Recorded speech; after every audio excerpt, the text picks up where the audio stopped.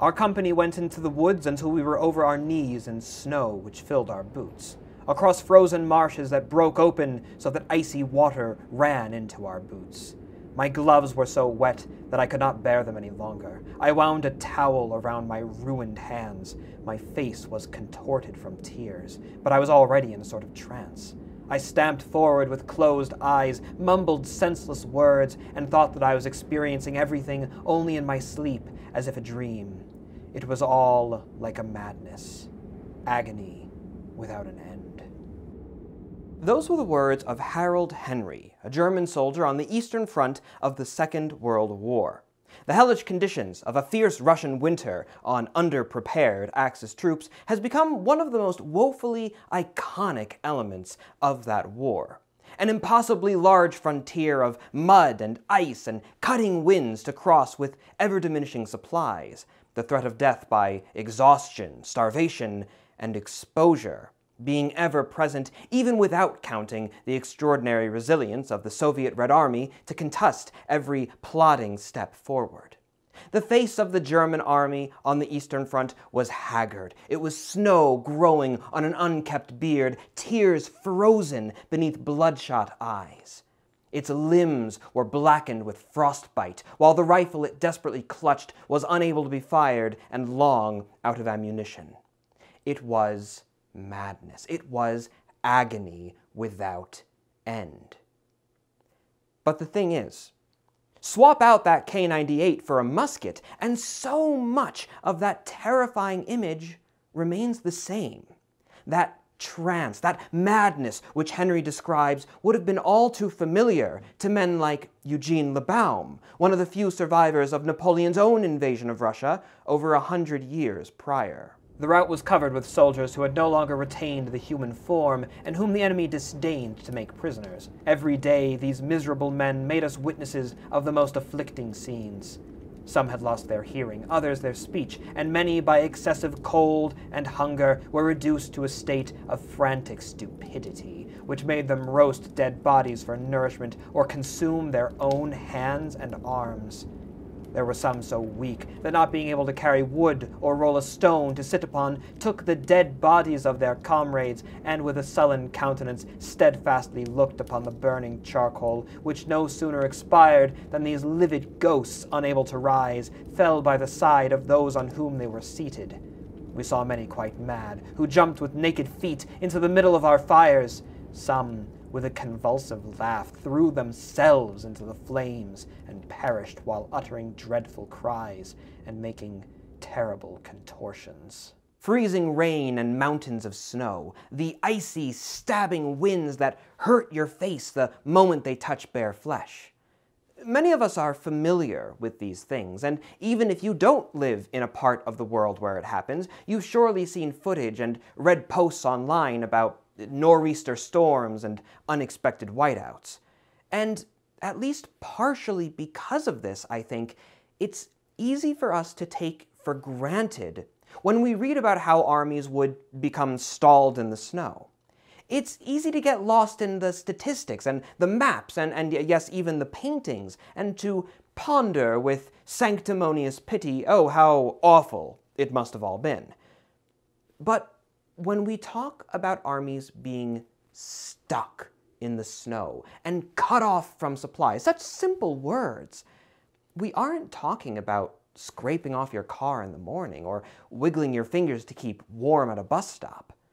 We're talking about a kind of misery, which is for all but those who experience it firsthand nearly impossible to even begin to comprehend. It is madness, a vision of a frozen hellscape handed down to us by the words of those like Labaume who bore it witness. The dilapidated houses could not afford us shelter from the excessive cold. Lying on each other, suffering with hunger and chilled with cold, we heard nothing but groans. The winter was so severe that the soldiers burnt whole houses to avoid being frozen. We saw around the fires the half consumed bodies of those unfortunate men who, having advanced too near in order to warm themselves and being too weak to recede, had become a prey to the flames. Some unfortunates, blackened by the smoke and besmeared with the blood of the horses they had devoured, wandered like ghosts around these burning houses. They looked on the dead bodies of their companions, and too feeble to support themselves, they fell down and died in the same. If that doesn't sound like a scene from a horror film, then I'm not quite sure what would. And the thing is that despite the stereotype, this experience went far beyond campaigning in Russia.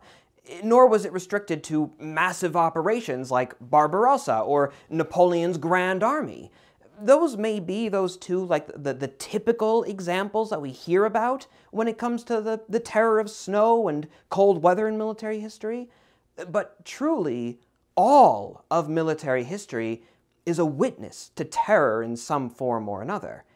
One story that we don't often hear about is the Battle of Quebec, that is, Quebec City, in December of 1775.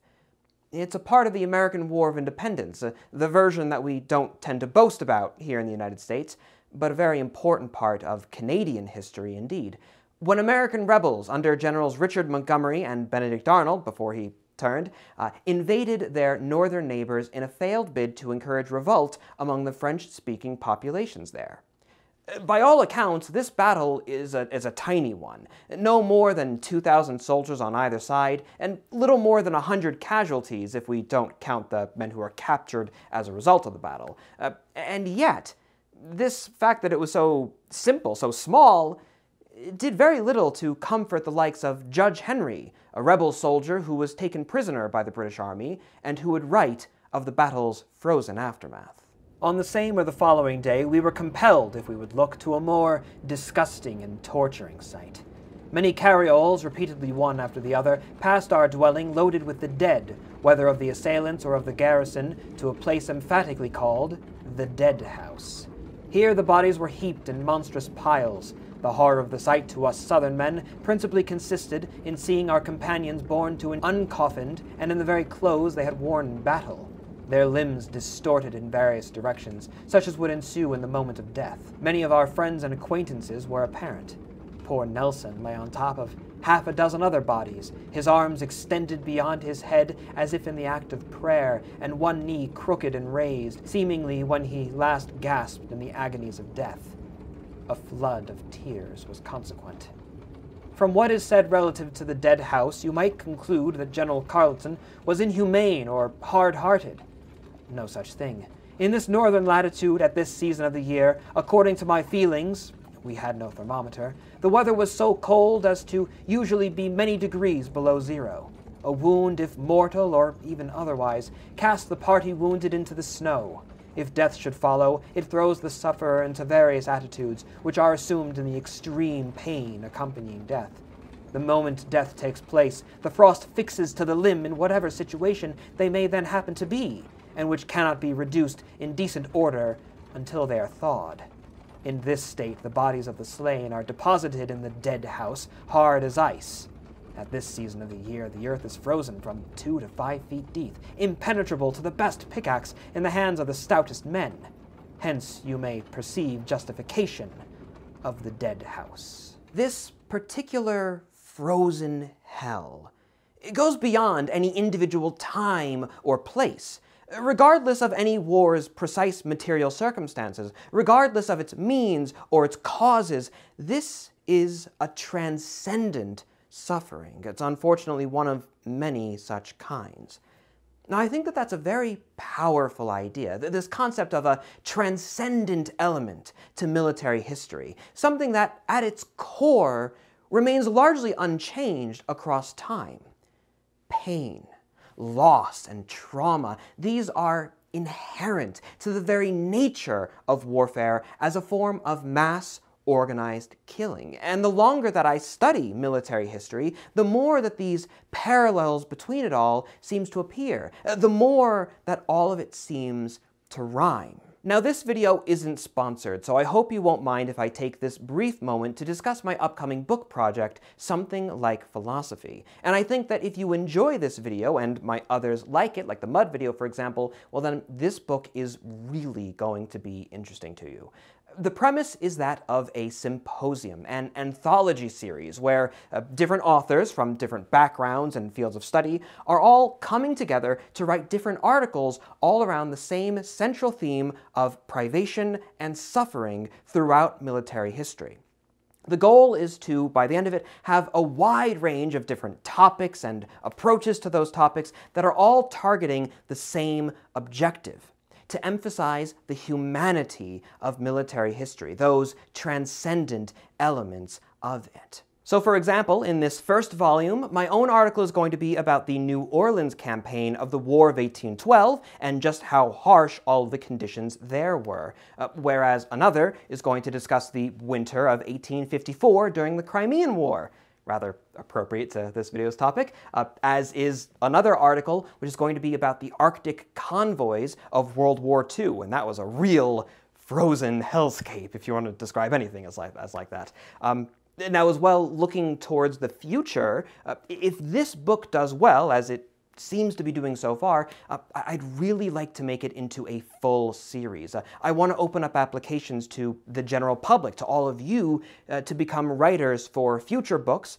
and hopefully the subjects will uh, come to encompass an ever wider range. Uh, I'd love, for example, for future volumes to get more into, into ancient and medieval history. Uh, I, I would absolutely love, I really need, in fact, to hear from, uh, from veterans about their perspective and their experiences, uh, whether they were in you know, Iraq or the Falklands or Vietnam and anything in between or beyond.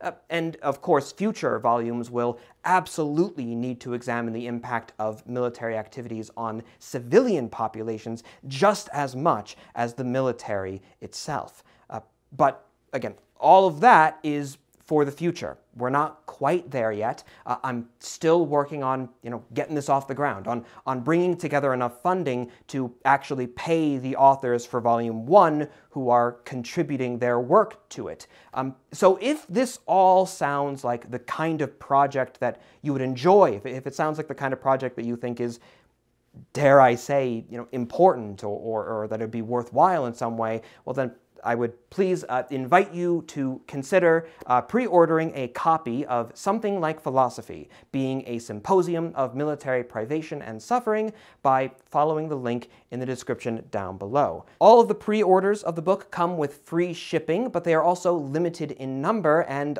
I'm happy to see they are going fairly quickly. Uh, already about half of them are gone, and when they are gone, the final release of the book is going to be slightly more expensive than the pre-orders are, are, now. Uh, like I said, if you're enjoying this video, uh, if you liked my video about mud in military history, for example, uh, then this book is going to be perfect for you, right up your alley.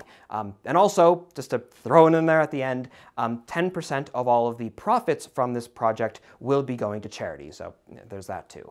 Um, but for now, I, I think that I've advertised enough to you all. Thank you very much for your time, and let's return to our subject. If the accounts I've read to you thus far are able to demonstrate anything, surely it's that extreme cold can be a terrible thing for an army left exposed to it.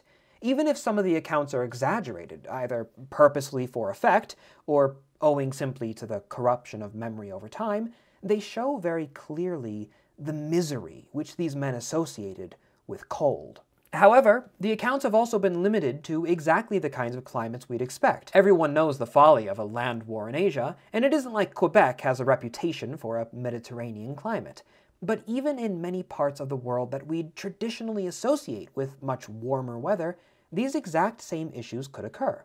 When you combine something as simple as winter weather, even when it's more mild, with other forms of privation, such as hunger or fatigue owing, in the next example, to a desperate retreat, you could face many of the same results.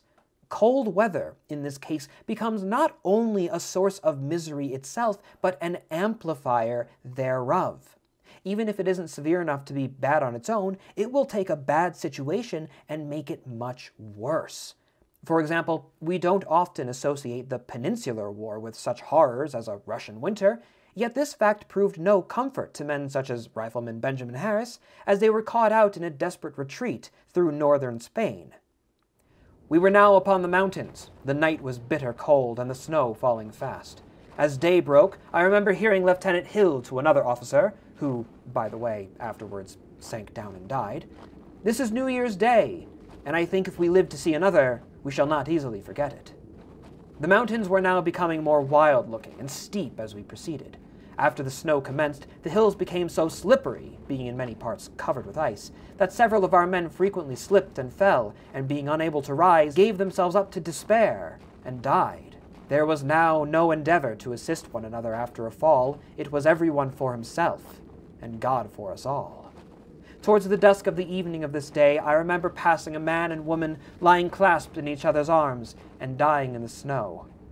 I knew them both, but it was impossible to help them. They belonged to the Rifles and were man and wife. The man's name was Joseph Sitdown. During this retreat, as he was not in good health previously, himself and wife had been allowed to get on in the best way they could in the front. They had, however, now given in, and the last we ever saw of poor Sitdown and his wife was on that night lying, perishing in each other's arms in the snow. Even when armies weren't in dire straits, the cold and wet could prove absolutely miserable and even dangerous to them. And soldiers would often write of winter conditions in attitudes of misery and indeed of horror whenever they were met with them unprepared or underprepared. Uh, for example, here's another account from the Peninsular War, this time from a soldier of the 71st Regiment of Foot. Unlike Rifleman Harris, he isn't writing about a desperate retreat, he's just writing about a time when his regiment was occupying some heights. And when he received those orders to occupy some heights, he wrote that we were glad, thinking the work would not be so severe. Yet he was disappointed when the men were worked constantly between guard and fatigue duties, to say nothing of the inclement weather. The weather was dreadful. We had always either snow or hail, the hail often as large as nuts. We were forced to put our knapsacks on our heads to protect us from its violence. The mules at these times used to run crying up and down, hurt by the stones. The frost was most severe, accompanied by high winds. Often, for whole days and nights, we could not get a tent to stand. Many of us were frostbitten, and others were found dead at their posts. Frequently have I been awakened through the night by the sobs of those around me in the tent, more especially by the young soldiers who had not been long from their mothers' firesides. They often spent the darkness of the night in tears. The weather was so dreadful, the 92nd Regiment got gray trousers served out to them. They could not live with their kilts. The cold would have killed them. There's an idea that certain armies, certain nations, certain even peoples are more capable of dealing with certain negative elements than others, not only owing to their being better prepared for them at a logistical and strategic level, uh, but also on the part of the individual soldiers uh, who are in some situations at least, perhaps more accustomed uh, to extreme cold. If you were to expect any army to be able to deal with extreme winter conditions as par the course, the Russians are probably among the first to come to mind for fairly obvious reasons.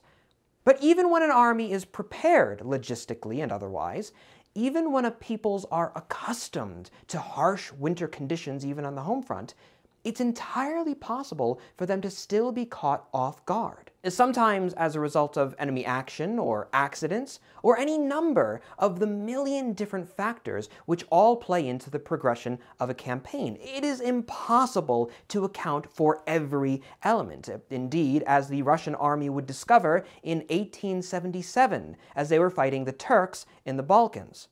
Now, the following account comes from the book The Russo-Turkish War, published right after the fact in 1878. Uh, so again, I think that a, a healthy dose of salt is required here, but the basic principles behind these words will stand. The snow began to fall and did not cease for seven days. All Bulgaria was soon buried under a shroud three feet thick.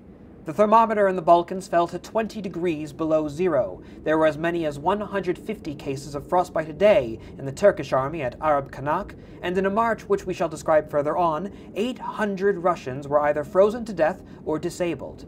The Danube began to fill with floating ice, and it was necessary to remove the bridges of boats. At Braila, where this operation was not carried out in time, the bridge was broken down, and 24 pontoons were carried away by the current. The excessive cold and snow, however, were not the principal obstacle which retarded the march of the Russian columns. The Tsar had remarked, when someone sought to frighten him with the prospect of a winter campaign, Summer is the ally of the Turks, winter that of the Russians.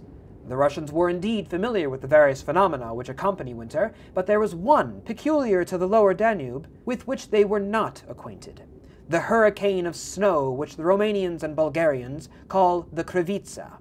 This storm usually rages two or three days, and sometimes with such terrific violence that no one dares to stir out. It uproots the strongest trees and even carries off the roofs of houses, while every one outside runs the risk of being buried under the snow. The trains are compelled to cease running while the tempest lasts, and warned of its approach, the people make preparations as if for a week's siege, for although the Krivitsa only lasts three days, at least three more are needed to reopen communications with the outside world. Uh, now, I do need to interrupt the account here just to add some more context. I did a little digging for this word, krivitsa, that the author uses, and to be frank, I couldn't find anything whatsoever. Uh, I asked a few Russian speakers that I know, so that, that's as close as I could get to Romanian or other Balkan languages, um, and likewise, they had no idea. Uh, and ultimately, I turned to all of you, actually, and then I was actually really pleasantly surprised to see that uh, not only, I suppose, do I seem to have a significant number of viewers from that part of the world, uh, but there was, in fact, an answer to be had. Um, if anyone has additional context or even a disagreement on this translation, uh, please do leave a comment. Um, I'll be sure to, you know, uh, leave a comment myself that I can pin uh, if there are more details provided. Uh, but in any case, it does seem like the word the author intended to use here would be this one. I think it's pronounced as krivats, something like that, um, and it refers to a specific wind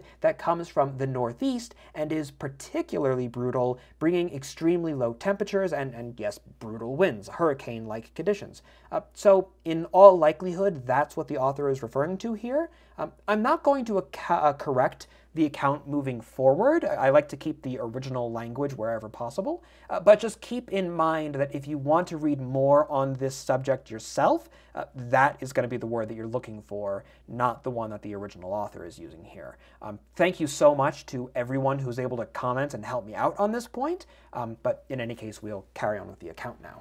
The Russians paid little attention to the warnings they received, thinking that the Krivitsa would be no more terrible than the snows of their own country, but they were soon undeceived. In the latter part of December, a series of disasters occurred through this unexpected foe.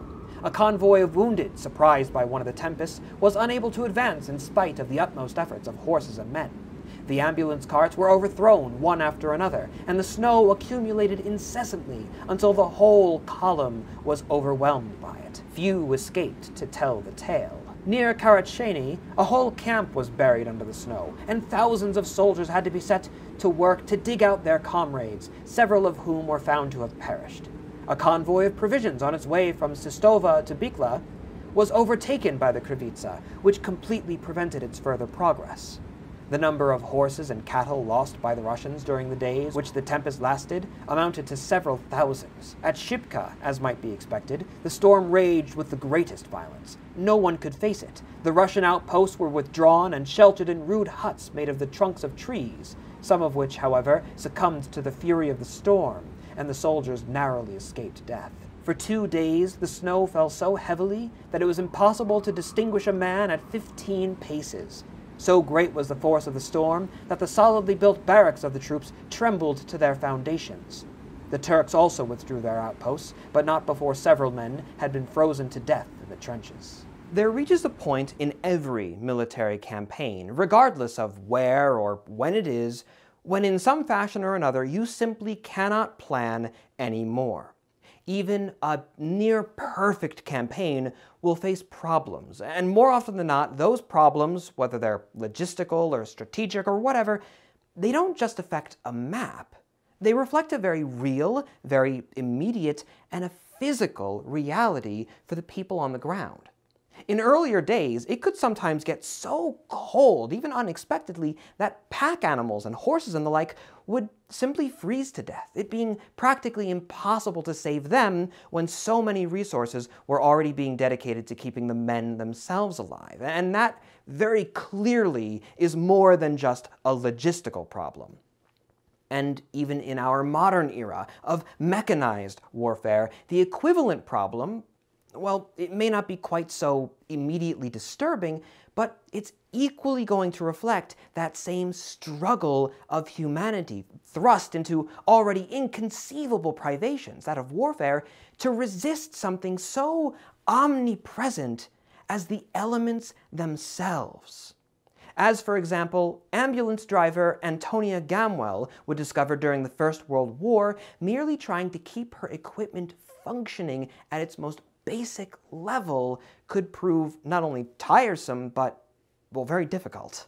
Of course, in the winter, it was bitter, and we couldn't keep the uh, cars mobile. I mean, they just froze, of course, if they were left to freeze.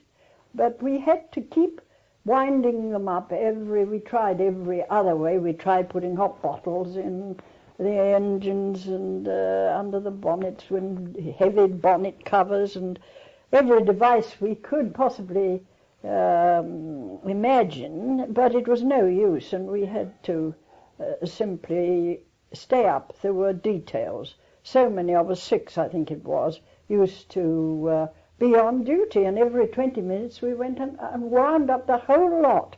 And of course, winter on the Western Front of World War I may as well have been a summer in the Caribbean when compared to the Eastern Front of the Second War.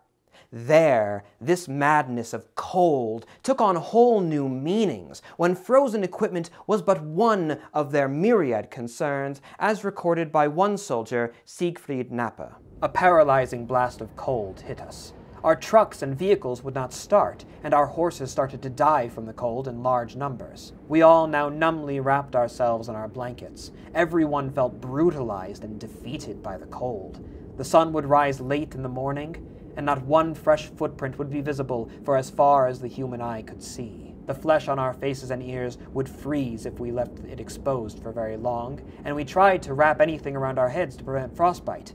Our fingers froze even in gloves. They were so stiff from the cold that they refused to perform any function. We could not have fired our rifles. The thing about this kind of cold, being trapped more or less outside, exposed to the worst of the elements, is that it becomes, not to use this word twice in the same video, but it becomes omnipresent, unavoidable, inescapable. Even in relatively good situations where certain luxuries could be afforded, there's always that presence, which is going to cling to everything, making every part of life just that much more difficult. This is a sneaking form, a silent, slowly crushing kind of terror. Even luxuries, when they could be had, would bear these bitter reminders of the cold and how it just sticks to you as NCO Clifford Lane would discover just trying to have himself a cup of tea in the trenches of the First World War. The coldest winter was the winter of 1916 17. The winter was so cold that I felt like crying. In fact, the only time I didn't actually cry, but I, I never felt like it before, not even under shellfire. We were on in the Ypres salient, and uh, in the front line, I can remember we weren't allowed to have a brazier because we weren't far away from the enemy, and uh, we couldn't, therefore, we couldn't brew up tea. But we used to have tea sent up to us up the communication trench. Well, a communication trench can be as much as three quarters of a mile long. And it used to start off in a huge dixie, two men would carry it uh, sort of with a, like a stretcher. It would start off boiling hot, by the time it got to us in the front line, there was, there was ice on the top. It was so cold. That same winter, another man, Army sapper George Clayton, would find it difficult to even keep up with basic Army regulations for shaving, which so many of us completely take for granted today. You could get a handful of snow and put it into one of them empty cups and tins, you know. We used to get tins of cups and that 60 cigarettes was just about it like a milk thing. And uh, you could warm, warm your snow in there to get water underneath a candle. Then you had some warm water when the, the snow melted. Have a shave. And by the time you were shaved, we used the cutthroat razors. There wasn't any safeters in them days. By the time they were shaved, the water was frozen again to ice, and you had to melt melt the water that you left your ladder bush in before you could get it out. It was a block of ice again. I've known me have to do that more than once. oh, yeah. If you'd like to hear more recordings like those three, well, they're all pulled from the same page on the Imperial War Museum website, alongside many others which I didn't reference here. Uh, so if you enjoy this topic, or just in general you'd like to hear more accounts of all sorts from different subjects relating to the war, well, then that really is the place to go. It's an amazing resource. Uh, I'll have it linked in the description. Uh, but like I said, at the end of the day, those men and women had it easy when compared to certain other military campaigns throughout history. Uh, and so, what better place to end our video than where it started? With the Wehrmacht on the Eastern Front, where we might finally see in the account of Guy Sajer at least one way in which men frozen to the bone might attempt to end their suffering. And I don't mean by urinating on the limbs of their comrades, although such did often occur, according to his account, and which often infected their wounds. Rather, an end far more brutal, and at least one might pray, final. Heads up, this next account does include a reference to suicide. We spent a fortnight in these bitter conditions, and it proved fatal for many of our group. We had two cases of pneumonia, we had frozen limbs, and a kind of gangrene from cold, which first attacks the exposed portion of the face and then other parts of the body. Two soldiers, driven mad by despair, left the convoy one night and lost themselves in the featureless immensity of the snow. Another very young soldier called for his mother and cried for hours. Toward morning, a shot jolted us all awake. We found him a short way off, where he had tried to put an end to his nightmare. But he had bungled his effort didn't die until the afternoon. There are many sufferings in military history, stories of privation and trauma and outright horror. But for those of us who are just reading about these historical hellscapes from the comfort of our own firesides, it's easy to take for granted what that suffering would have looked and felt like, even to outright reject it, neglect it, in favor of its more technical consequences, to focus on, on how weakened supply lines would stall advances on the map, uh, to focus on how equipment would perform differently in different conditions. Simply put, it's easy to forget that suffering, especially when these experiences are so far removed from our own, at least I might hope that they are. It's through the primary sources, through the accounts of those who were there, that we might remember and thus gain small insights into the reality of the human condition past and present. Even when those readings are unpleasant, they're important. And even when they're from perspectives that we might find abhorrent and wrong, they're still a vital part of the overall story. If anything, that just represents an even greater part of the tragedy that's to be found in the lives of men like Klaus Hansmann, another soldier of the Third Reich, with whose poetic and thoroughly disturbing prose regarding this simple topic, seemingly simple topic, of snow and cold, I'd like to conclude this video with. He would write, That is the power of nature, when it rips at all your limbs, when you have to brace yourself not to lose your grip. You're propelled like a withered leaf. You forge on, and step by step, you press into the icy wall of snow that threatens you. Your head sunk low, a bit sideways with open mouth, snatching at breath, you carefully set one foot in front of the other. First, you take a strong step, then tense your muscles powerfully, and you notice that slowly your body moves forward, so that you fight against the elements, a small, tiny man all alone. You go on, always forward. Forward? You must have reached the house at last? You carefully raise your face against the storm, squint for a few seconds into the white force. But everything is a torrent. Everything is snow in raging movement. You are alone. Where are you? Where is the house? Thank you for your time today, my dear viewer. And until the next, I am and I shall remain your most humble and obedient of servants.